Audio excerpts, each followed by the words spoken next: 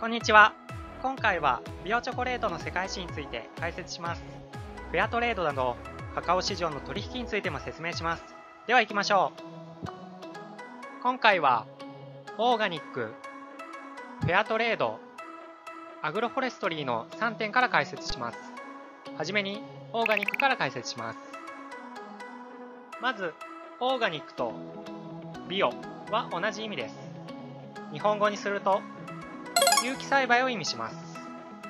一般的にオーガニックとは農薬や化学肥料を使わずに育てられた作物を指します。オーガニックと呼ぶには商品の原料の95%以上がオーガニックでなければいけません。厳しいですね。マダガスカルやボリビアでオーガニックのカカオ豆が栽培されています。良質なチョコレート作りで知られる国々なんです。オーガニックの大きな利点は環境への配慮です。カカオをたくさん生産するためにどうしても農薬に頼りがちになってしまうんですね。また、頑張ってオーガニックにしようと思っても、オーガニック認定料というものがかかり、小さな農園にとってはそれもかなりの負担になるんです。そのため、カカオ豆の0.5%ほどしかまだオーガニックはないんです。カオ農園の人たちが農薬に頼り切ってしまうのも無理はありません。カカオは栽培が難しいフルーツなんです。例えば、ポットポーラという幼虫がポットに穴を開け豆の発育を妨げるものや、カプシットという植物組織に損傷を与える害虫による病気や、国家病というポットにカビを生やせ腐らせてしまうものや、ビッチズブルームというカビで洋画にコブを作るものなど病気がたくさんあるんです。ただ1900年代からオーガニック認定のチョコレートが広まっています。農園の凄まじい努力がわかりますよね。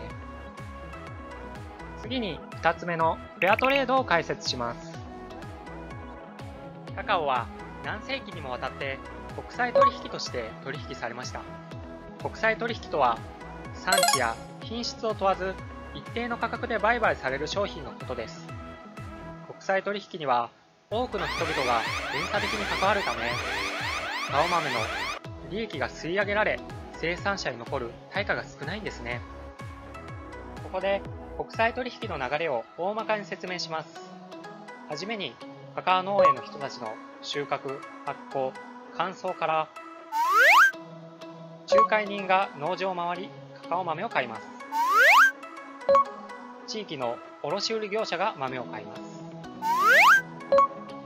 輸出業者が大量に豆を買います。メーカーに届きチョコレートに加工されます。工業規模でチョコに加工されます。こんなにも流れを踏むと最初のカカオ農園の人たちの利益はやっぱり少なくなるんですよね。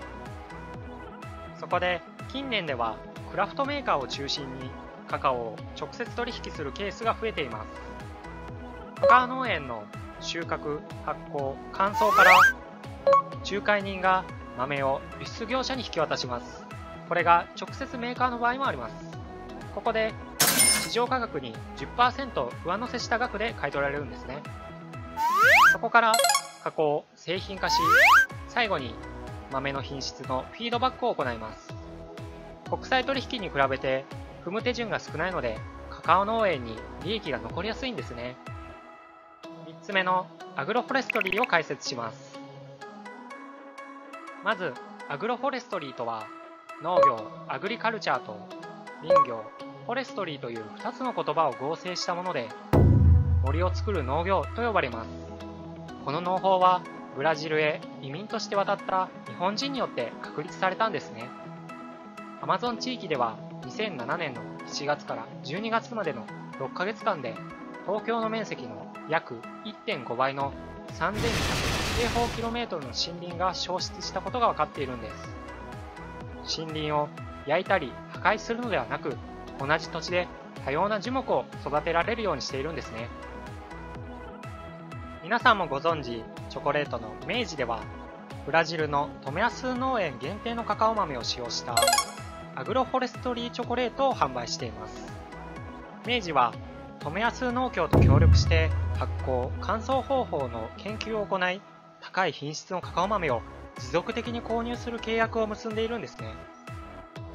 さらに、明治カカオサポートという農家支援活動では、栽培方法の勉強会を開いたり、栽培に必要な苗木の供給センターを作ったり、また、井戸の整備や学校備品の寄贈なども行っているんです。さらに明治はカカオ産業を持続可能なものにするために WCF というものに加入しています。本部をアメリカのワシントンに置き、カカオ産業を持続可能なものにするために農家やコミュニティの支援を行う NPO 団体のことです。明治もそこで積極的に活動しているんです。ここで少し話は変わり、CCN51 というカカオの品種を紹介します。カカオを大量に栽培するために人為的に生み出されたものなんです。コレクションカストロナランハルの3単語の頭文字を取って CCN と名付けられました。コレクションは集めるということ。カストロはこの品種を開発した方の名前。ナランハルは場所の名前です。その51番というわけです。この品種は病害に強く大量生産が可能です。ただ、もともといたアリバ種がこの種によって少なくなったことや味が悪いなどこれを生み出した植物学者が亡くなるまで評判は最悪だったんです。うまく評価を得られないまま亡くなってしまったんですね。ただ今この種の良さや味も再評価され始めています。カカオ産業を救ってくれるかもしれませんね。2001年に西アフリカのギニア湾で10歳から14歳の子供の消息が立つ事件がありました。これは、ベニンからカボンに入り、そこからコートジボワールなどのカカオ農園に売り渡されるところだったといいます。